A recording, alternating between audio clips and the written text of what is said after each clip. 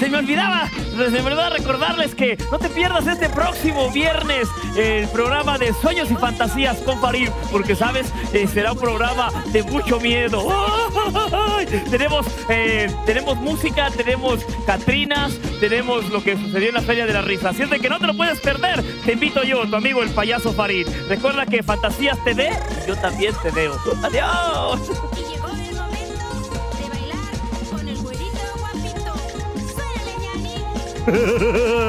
Perdón, me dijeron era Fantasía TV.